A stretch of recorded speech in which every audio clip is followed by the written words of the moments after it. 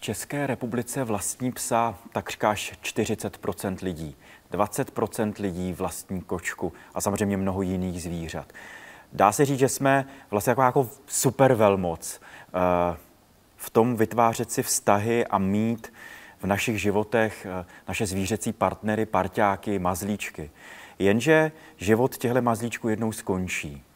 Co se vůbec děje v nás, v naší hlavě, naší psychice, když nám odejde náš zvířecí parťák? Můžeme cítit stejný smutek, je to stejný zármutek, jako když nám odejde někdo eh, z našich přátel nebo, nebo z naší rodiny. Můžu si dovolit vyhledat terapii? Můžu vůbec eh, toho svého parťáka eh, pohřbít? Můžu ho spopelnit? Můžu dokonce využít jiných služeb, krematoria, zvířecích mazlíčků a parťáků. O tomhle všem si budu povídat v našem dalším díle. O čem se mlčí?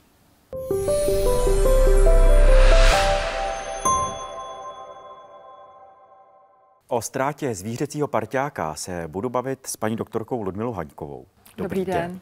Dobrý den. A s panem inženýrem Honzou Šípkem. Já vás taky zdravím. Dobrý den. Majitelem krematoria pro domácí mazlíčky. Vyloženě tak. se takhle to jmenuje? Přesně tak. Je to vlastně jedná se o jakékoliv zvířátko, které chováte mm-hmm. doma jako mazlíčka. Hned se vás zeptám, ale potřebuji začít příběhem. No příběhem, mojí zkušeností. Já jsem nedávno někde učil a jedna z účastnic eh, vlastně tohohle výcviku, tak eh, byla velmi smutná, byla velmi vlastně nešťastná a když jsme se zeptali, co se stalo, tak eh, ona prozradila, že ztratila, že ztratila zvířecího parťáka, opravdu psího, psí, psí jako partnerku, fakt jako partnerku, nejenom prostě fenku, ale prostě partnerku. A, a poprosila nás, jestli bychom na to v chvilku brali ohled. A ten příběh je ale o tom, že se na ní otočila jedna z účastnic toho kurzu a velmi nevybíravě ji vlastně seřvala. Vlastně řekla, co blbneš, uh, teď je to jenom zvíře, ty tady pláčeš, jako kdyby to byl člověk, nebo ztráta jako dítěte. To přece si nemůžeš, to nemůžeš myslet vážně. Tahle ta slova tam zazněla. Může to myslet vážně? Ano, může. A lidé se velmi liší podle toho, jaký k zvířatům vytváří vztahy. Jo, jsou vztahovější, jo, než to zvíře berou v podstatě jako partnera hmm. nebo dítě a nějakou humanizuju, poličtuju, hmm. mluví s ním, hmm. Hmm. spí s ním v postele, hmm. jo, dávají dárky a to zvíře jim v podstatě toho partnera nahrazuje. Hmm. Nebo je to vztah. Je to vztah jakokoliv jiný, velmi vřelý často hmm. a, a láskyplný. Hmm. Dá se to vůbec srovnat, protože na mnoha debatách nebo někde na Facebooku, když jsem si tohle téma rozkrýval a, a díval se na ně, tak tam lidi opravdu komentují a, a vlastně je tam taková soutěž, jestli se ten vztah ke zvířeti dá prostě srovnávat se vztahem k člověku. A, a dokonce tam byly komentáře, že neurologicky, neurovědně vlastně ten vztah s tím zvířetem oslovuje stejná mozková centra, stejný, stejný principy, stejný modely, stejný procesy neurologický, takže ano, dá se to srovnat. A pak tam někdo říkal, to přece nemůžete srovnávat člověka se psem nebo s kočkou nebo a tak dále. Je, je, je to tak? Dá, je, je to stejný srovnatelný vztah?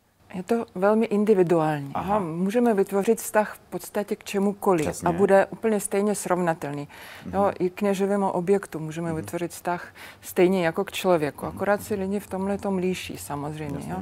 Jinak, jinak, ano, ztráta zvířete prožívá uh, stejně jako ztráta milovného, milovné bytosti. Jo. Já se k tomu ještě vrátím. Teď se potřebuji Honzo zeptat vás. Mm-hmm. Jak lidi vůbec reagují z vaší zkušenosti, když za váma přijdou do krematoria, vyloženě se, se, se to takhle jmenuje, je to prostě pohřební služba a tak dále. Jak vlastně reagují, nebo vůbec je, jak se chovají, když s váma mluví? Jako je tam přítomný stud, že vlastně kam tím, kam tím míříme. Oni můžou prožívat nějakou ztrátu a teď uh-huh. slyší ty, ty lidi okolo, nemůžeš přece takhle dlouho bulet a teď to za chvilku přejde. A teď s váma tam ale otvírají, domlouvají se dokonce, jak ten pohřeb nebo jak ta kremace bude, bude vypadat. To se jich prostě zákonitě musí dotýkat. Jak, jak, jak na to vy reagujete? Nebo jak reagují? Určitě, já musím vy? říct, že já bych asi potvrdil slova uh, uh, paní psycholožky. Ono určitě závisí hrozně na tom, jakoby, jak ten člověk má hluboký vztah k tomu zvířeti. Jasně. Uh, obecně možná můžu říct, že k nám, když už si někdo vybere jakože uh, na poslední cestu uh, nějaký krematorium nebo, nebo pořadní službu pro zvířátka, většinou to značí to, že už k tomu uh, zvířátku měl nějaký hlubší vztah. Mm-hmm. Protože ti lidi, kteří vlastně hlubší vztah k těm zvířátkům třeba neměli, pardon, Poně. tak eh, ty třeba nechají to zvířátko u veterináře, odejde hmm. potom do kafléry, kde ho vlastně průmyslově zpracují. Eh, ty většinou berou to zvířátko opravdu jenom jako zvíře, hmm. ale ti, kteří se už jakoby rozhodnou využít nějakou služeb eh, zvířecího pořadnictví, tak ti většinou mají k němu hmm. jako velmi hmm. blízký vztah. Hmm. Dá se říct opravdu, že nejčastěji je to spejsky, protože pejsci přece jenom, nebo spejskama, ti mají takový jakoby tím, jak dokážou reagovat, jak vlastně jsou i sami citově napojení na toho majitele, tak tam vzniká jakoby ten vztah trošku takový hlubší, takže řekněme, že k nám opravdu možná 85% hmm, všech hmm. zákazníků hmm. jsou prostě pejskaři. Jasně. A můžu říct, že naprostá většina z nich uh, samozřejmě uh, prožívá jako hlubokou, uh, hluboký smutek, mm-hmm. nějakou ztrátu nad tou ztrátou, když je ten pejsek, kočička nebo další zvířátko prostě navždycky opustilo.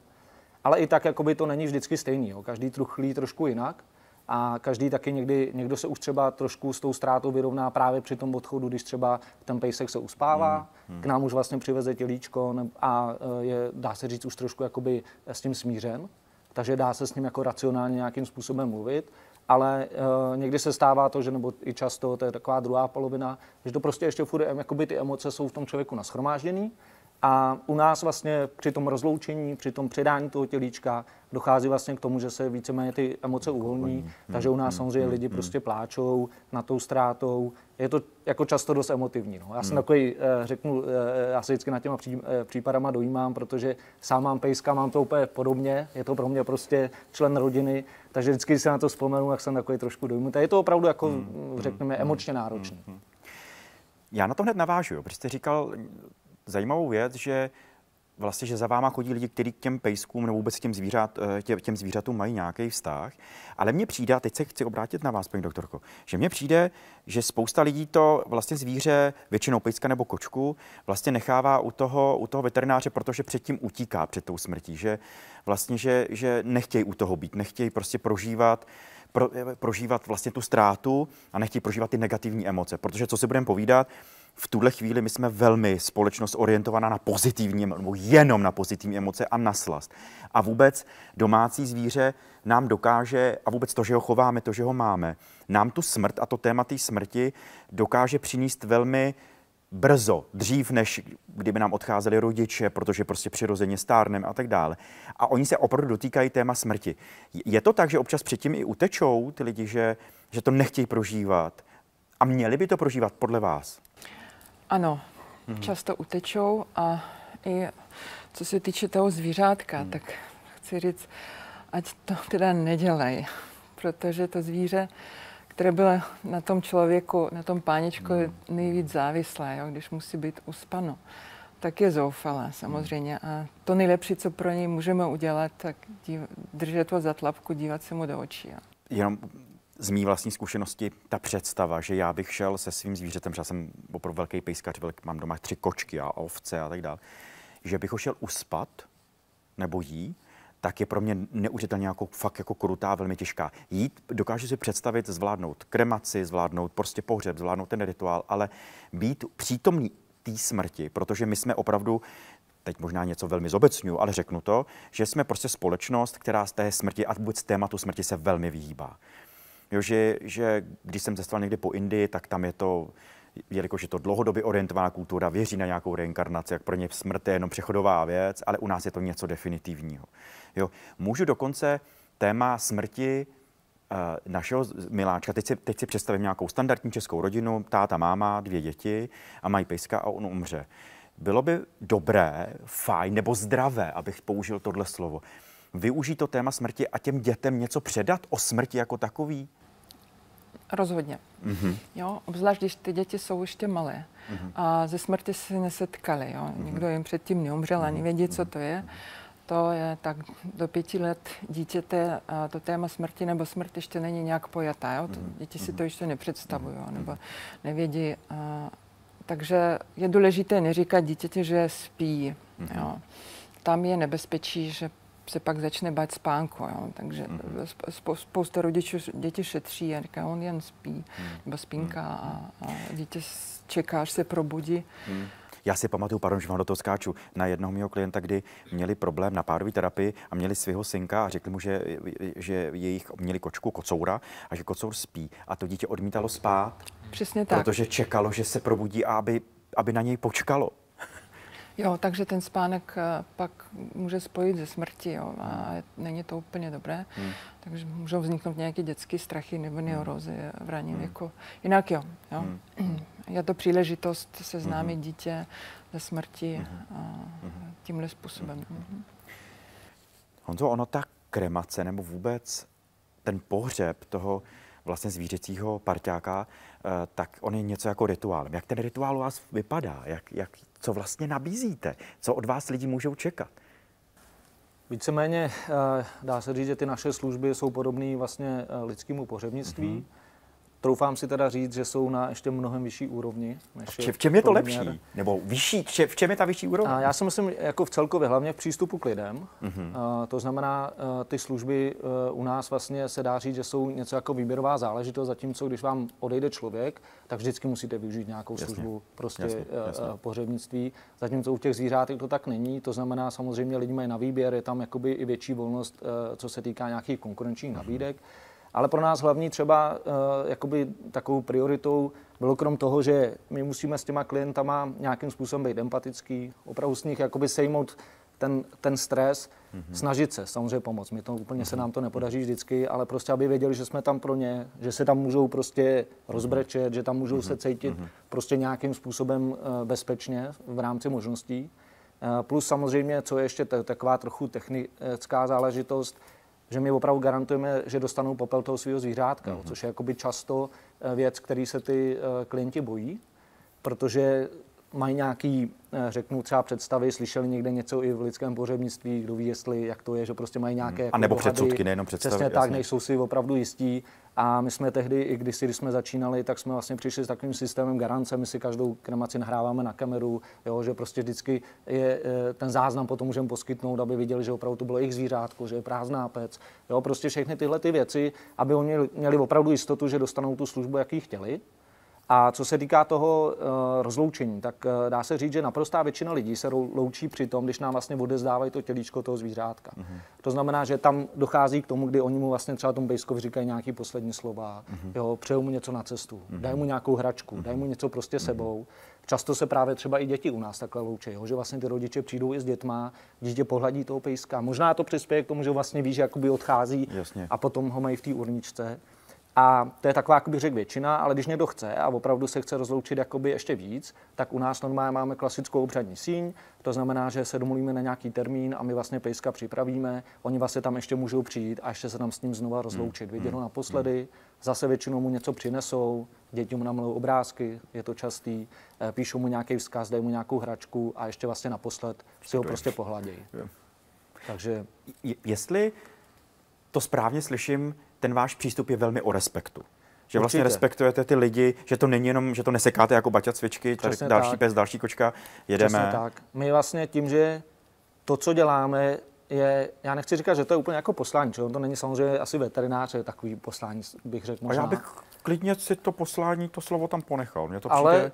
určitě je pro nás jako priorita opravdu se snažit, protože my vlastně pracujeme každý den jakoby s těžkýma emocema lidí. Jasně. A uh, oni přijdou k nám v nějaké těžké situaci a my se musíme prostě snažit je tou situací provést jako tak, aby jsme jim nějakým způsobem trošku odlehčili. Uh, samozřejmě se setkáváme někdy s tím, že i lidi jsou třeba jakoby naštvaný. Jo? Možná mm-hmm. to souvisí s tím, že když to zvířátko odešlo, jsou naštvaní na celý svět. Uh, často i na toho veterináře. Že třeba neposkyt mm. péči, kterou měl. A uh, my vlastně v tomhle musíme pracovat. Nikdy jako těm lidem se s nimi nějakým způsobem nedohadovat, vždycky se snažíme prostě tam být pro ně. Mm-hmm. Takže to je takový jako nejdůležitější, aby se u nás opravdu cítili bezpečně. Určitě. A že se všechno jakoby stane tak, jak si oni přejou. Mm-hmm. A já na to hned navážu, na ty negativní emoce, mm-hmm. protože mně se zdá, a nejenom zdá, ale mám vlastní zkušenost osobní, že uh, k těm negativní emoci, k, těm, k, těm, k tomu zármutku, k tomu smutku, který já prostě prožívám, tak se u ztráty domácího zvířete, toho mého mazlíčka, toho prostě mého parťáka, tak se vlastně přidává ještě trochu stud za to, že já přece nemám tak truchlit, já přece se nemám cítit tak smutnej, vlastně kvůli, kvůli nějakému divnému blbýmu psovi, neumřelo mi dítě, neumřela mi babička, neumřelo mi prostě jako kamarád, partner. Že tam je ještě přítomnost toho smutku. Jak to vnímá? Je to tak, nebo, nebo je to jenom moje nějaké vnímání? Že se jako za to stydím, že se za ten smutek ještě stydím. Hmm, to asi je nějaké vaše vnímání, mm-hmm. ale uh, jsou lidé, co samozřejmě můžou někomu vyčítat, že je dlouho tak. smutný. Jo? Mm-hmm. Uh, v podstatě, když nějaký příbuzný, jo, nebo kamarád, nebo mm-hmm. zna, jako máme rádi a zemřelo mu zvíře a je smutné, mm tak my vlastně nechceme, aby byl smutný, jo? chceme, tak aby smutný byl přesně, přesně tak. Hmm. A takže uh, uklidňujeme. A uklidňujeme jak? No tak ne, jo? že je to jenom pes. Jo? Bagatelizujeme, jo? zlehčujeme. Přesně, přesně, je to, přesně, přesně. Je to snadné, jo? Hmm. Uh, zlehčovat tohleto a, a říkat tomu člověku, že jeho pocity nejsou adekvátní. Ale když mluvíme o pocitech, tak uh, slova adekvátní, neadekvátní tady nemá co dělat, jo? protože pocit je prostě pocit. Mhm. Když mě někdo odejde, mý zvíře. Um, ty, ty fáze v smutku, ty fáze ztráty jsou stejné jako u ztráty člověka i u ztráty zvířete? Je to prostě ztráta, je to smutek, je to zármutek a vlastně prochází to stejnými fázemi? No, víceméně ano.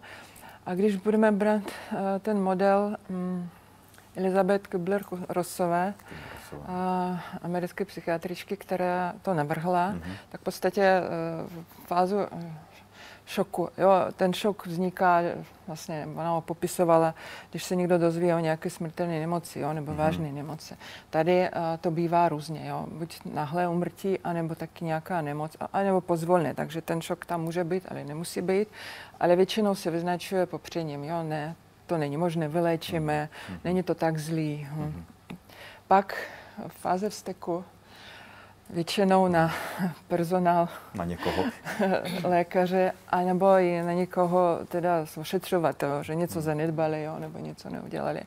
Fáze ale smutku a deprese nastoupí každopádně. Hmm. A pak až teda ta deprese hmm.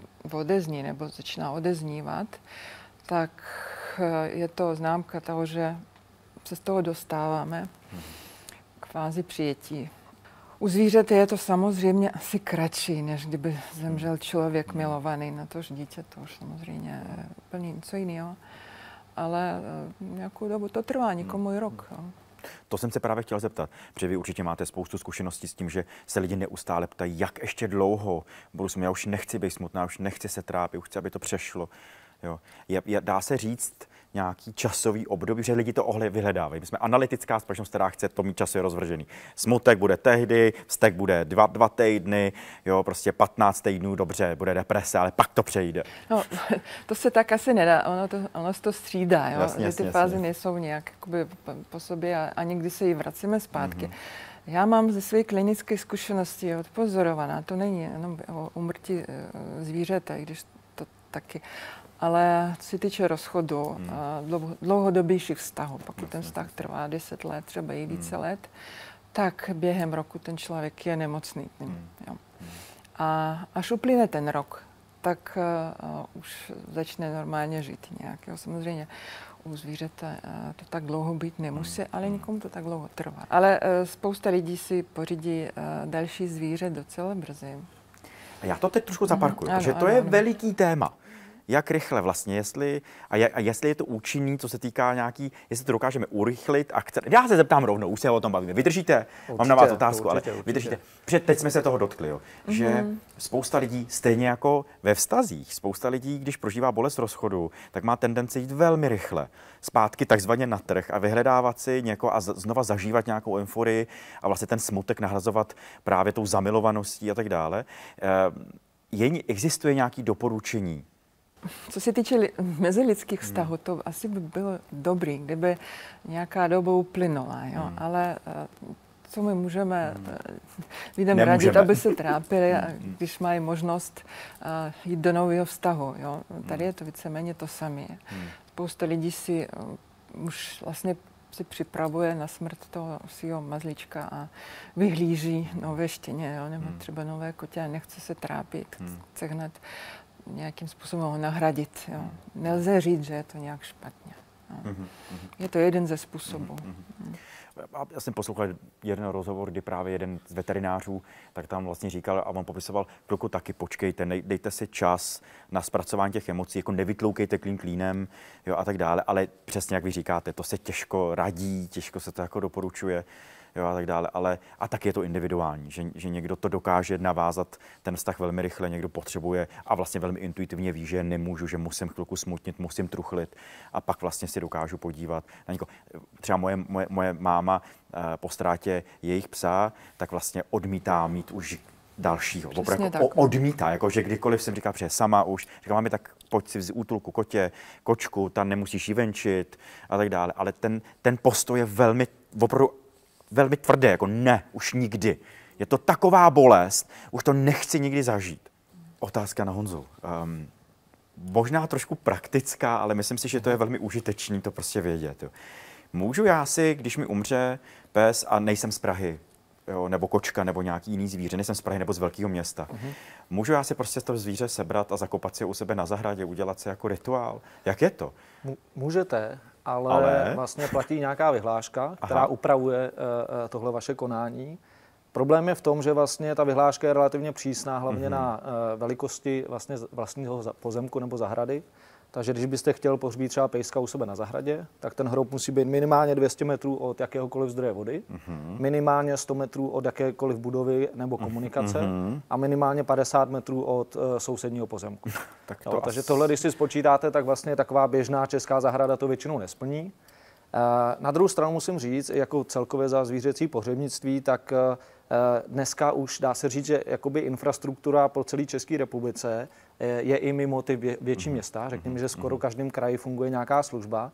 To znamená, že pokud se mi to stane eh, někde a eh, nemá možnost, toho, možnost toho pohřbení, nebo nechci, někdo i mhm. nechce kopat ten hrobeček, nechce prostě si někdo třeba rozkopat hezkou zahradu, tak je možnost prostě nějakou službu zvířecího pohřebnictví využít. Mně to přijde naprosto jako skvělý.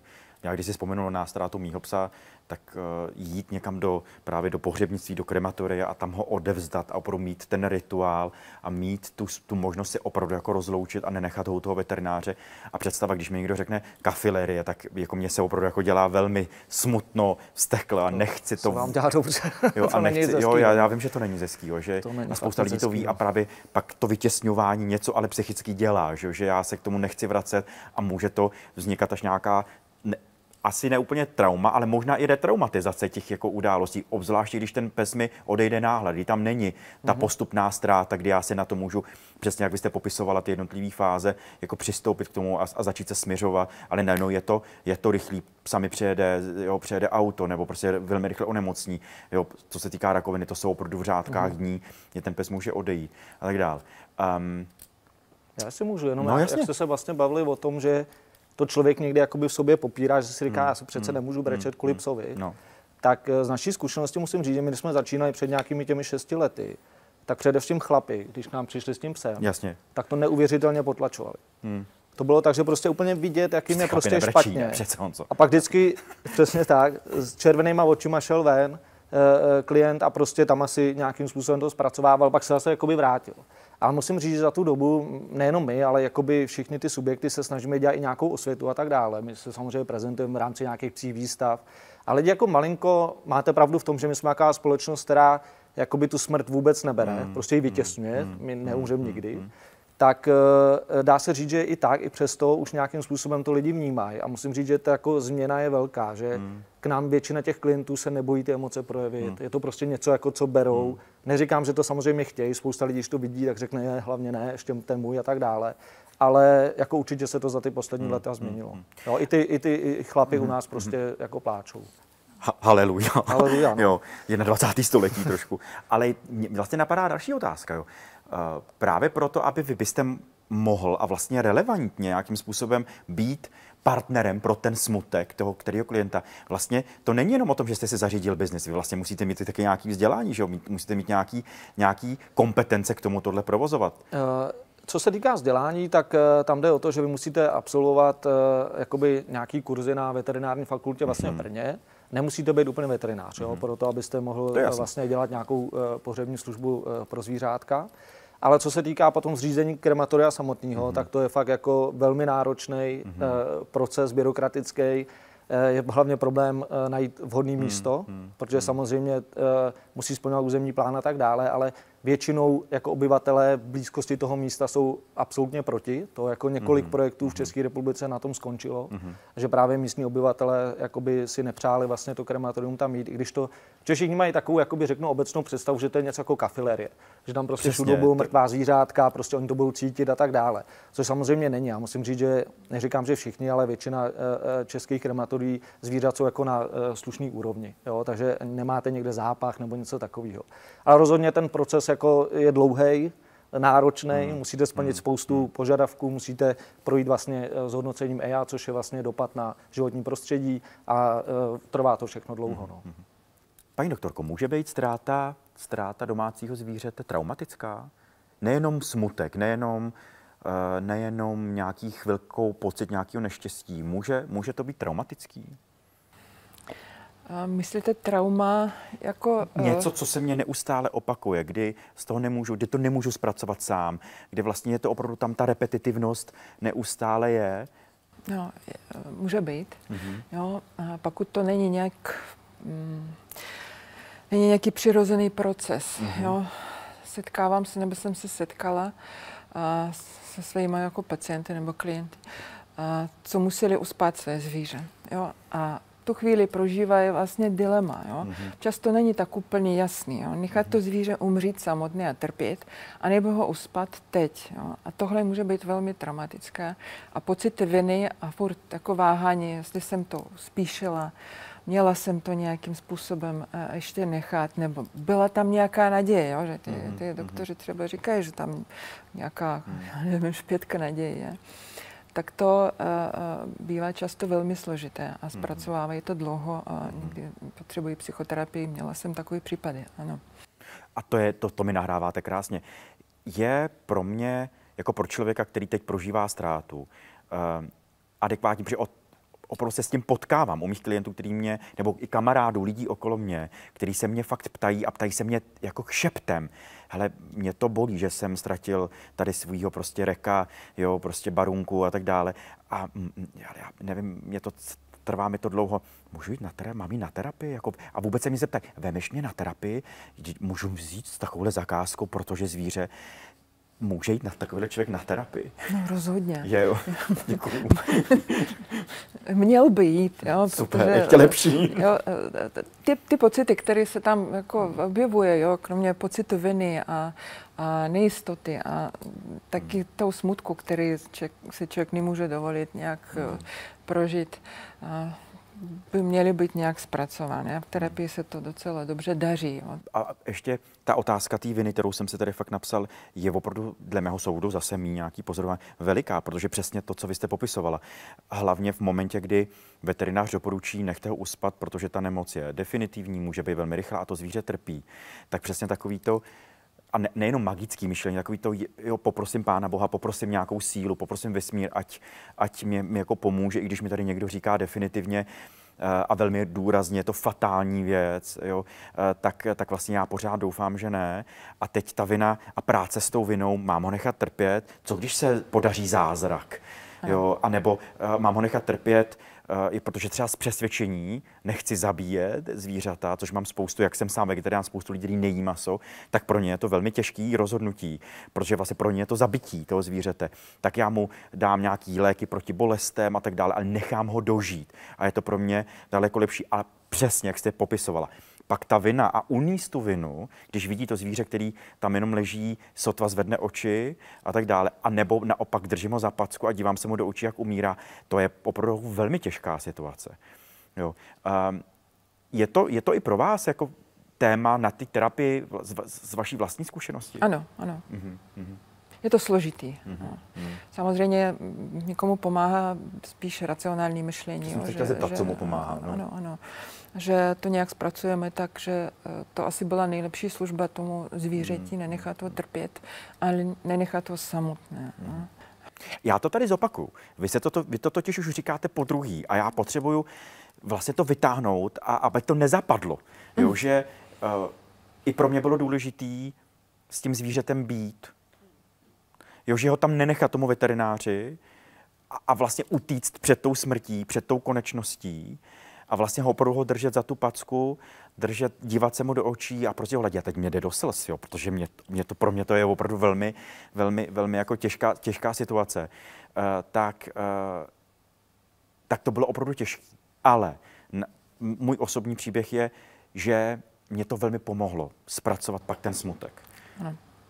A to potřebuji potrhnout a děkuju, že to tady přinášíte. Že nenechat to zvíře samotný, uh, tak je velmi důležitý nejenom pro ně, pro, pro, pro, vlastně pro tu situaci, který on vlastně pravděpodobně nerozumí, ale hlavně pro mě a pro tu, pro tu práci s tím smutkem. Čas uh, to děláme kvůli sobě, že to uh, zvíře necháváme žít příliš dlouho nebo umřít přirozeně, že to nechceme, jo, ale hmm. to zvíře trpí a někdy hodně. Jo. Hmm.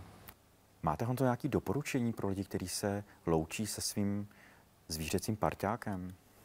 Já možná tady, když se bavíme vlastně o těch eutanázích, mm-hmm. tak uh, dneska i my, protože my spolupracujeme s veterinární záchrannou službou tady v Praze, uh, nabízíme to, že vlastně může zvěrolékař přijet přímo domů k těm lidem a to zvířátko uspat tam, aby nemuselo někde jakoby e, zažívat na poslední cestu takovýhle hrozný někam převoz na veterináře hmm, nebo k hmm. veterinářovi, kde samozřejmě většinou je ve stresu, hmm.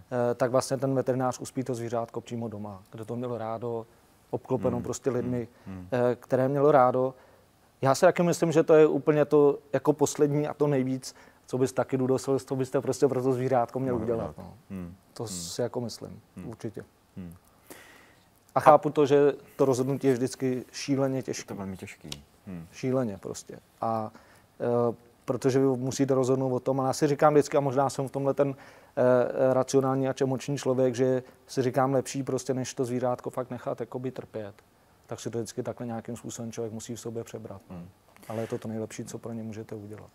A ještě mám jednu otázku teda na vás, paní doktorko. Mě teď napadá a přišla mi do hlavy představa, že vlastně dokážu si představit, že vlastně v té rodině to může být taky velmi jiný.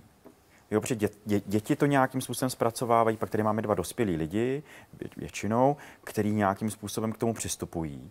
A občas to může být docela necitlivý, třeba od toho táty, od mámy, který vlastně můžou nějakým způsobem nepřijímat emoce těch dětí, anebo jeden druhýho. Třeba jo, partnerce je to velmi líto a pláče a partner tam chodí, říká, prostě tě nebůl a tak dále. Je to i na nějakou, a teď možná to přeháním, ale chci se zeptat, je to i na nějakou jako rodinnou terapii, že, že si může přijít a klidně jako na jedno sezení, nějakou konzultaci. Omřelo nám zvíře a dokážu si představit, že, že vlastně my jako rodina půjdeme za nějakým odborníkem, odbornicí a oni nám pomůžou nastavit je to tak, jako jsem nebo jsem úplně mimo? no rozhodně je. Hmm. Že lidi si představují terapii, že tam jdou, když už je to fakt jako strašný. Jo. jo. Ale... skáčou z okna a pak teprve můžu na terapii. Ale tak to není. Jo. Eh, je to i proto, aby se ten život nějakým způsobem vylepšil, jo. aby jsme hmm. měli život kvalitnější, aby řešili problémy, hmm. které eh, zase nevypadají nějak jako světoborně. Jo. Takže určitě ano, jo, jak s dětmi mluvit, protože rodiče často těžce nesou hmm. um, smutek svých dětí. Ano. Jo taky si jich snaží nějak uklidnit, jo, nebo hmm. nabízet jim hmm. jiné zvířátko. To dítě nechce jiné hmm. zvířátko, no, chce to... Taky svůj berušku. To svůj berušku, jo. Hmm. A nějakou dobu nebude chtít jiné hmm. zvířátko, jo, ale uh, nechat to dítě vlastně poplakat nebo hmm. obrečet a odsmutnit hmm. to zvíře je důležité. Je důležité, aby eh, byla nějaká památka, možná plišáka, která pojmenují jménem to, eh, toho pejska nebo kočičky. Jo. Malovat obrázky, jo, hmm. udělat nějaký, já nevím, talismánek nebo něco takového. Všechno to pomůže postupně a, a se s tím vyrovnat a zároveň ponechat to v paměti. Jo. Až uplyne nějaká doba, tak i ty dě, děti budou připraveni na to pořídit si někoho dalšího. No. Hmm. A já se na vlastně jste mi krásně nahrála na, na tu památku, na ten talisman, protože u vás vlastně funguje, nebo aspoň vím, že u, jako lidé si můžou nechat třeba popel toho svého partnera, partnerky nebo člověka, mámy, táty, nechat vyloženě, třeba vím, že i diamanty se dělá, že se to pod nějakým extrémním jako tlakem, t- jako ten, a tak dále. Děláte to taky? Je to taky, jo, jo, je to vlastně shodou okolností, tady jsme právě zástupci té švýcarské firmy, která ty diamanty uh, vyrábí, opravdu. dělá opravdu. Uh, takže jak teda z popela lidí, tak i zvířátek, hmm. anebo třeba z vlasů nebo ze srsti, jo, když chcete třeba z živého člověka nebo zvířátka. A uh, samozřejmě, uh, není to úplně pro každého, tam hlavně u diamantu rozhoduje i cena, ale uh, lidi o to nějakým způsobem za, jako zájem mají. Jo? Mm-hmm. Takže jak uh, vlastně uh, řekněme z toho lidského pohřebnictví, tak i z toho zvířecího. Takže uh, vždycky, já nevím, řekněme, do deseti klientů ročně uh, prostě máme, mm-hmm. i uh, co se týká uh, těch diamantů. A co se týká těch památek jako takových, tak musím říct, že naprostá většina těch lidí si vždycky odnese to zvířátko v té urničce. Většinou si, řeknu, polovina klientů si vždycky vybere nějakou jakoby okrasnější, pěknou, která se jim líbí. My samozřejmě máme nabídce velké množství. E, I takové třeba biorozkladatelné, když potom někdo chce si třeba to, to byla moje volba. Jako já bych... Pohřbít na zahradě třeba, aby se prostě ta... A strom nasadil, zasadil taky, a měl taky, tam. taky máme něco takového, takže to je taky možnost, ale jsou i jiné věci. Třeba máme takový malý šperky, do kterých se vždycky vsype jenom trošku toho popela Aha. a ten člověk to vlastně nosí u sebe, jo? že to má buď prostě na řetízku, nebo dokonce, když má někdo třeba víc zvířátek, tak to dej tomu druhému pejskovi na obojek.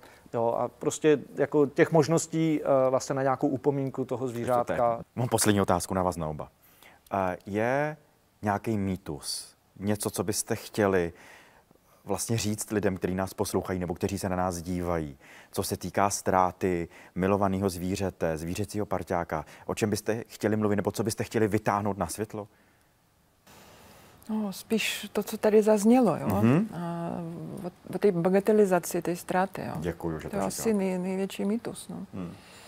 Jo, že lidi si neuvědomují jednu věc a často, že hm,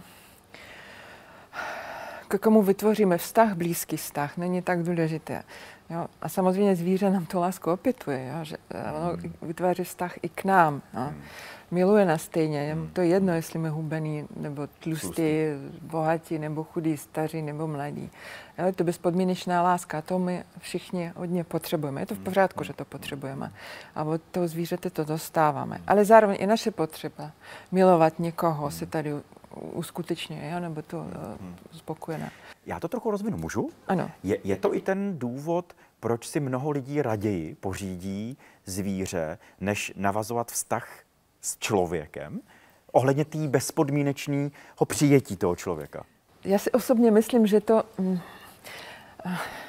není tak, Aha. že si rozhodne uh, si pořídit zvíře místo toho, aby si pořídil přítelky. Že to se často říká, že jo? jo jako, že ale... vlastně, ty si pořiď psa, ty žádnou, žádnýho prostě jako člověka radši neměj, ty ho zničíš ale eh, člověk se cítí asi nejdřív osamělý a mhm. rozhodne se pořídit zvíře.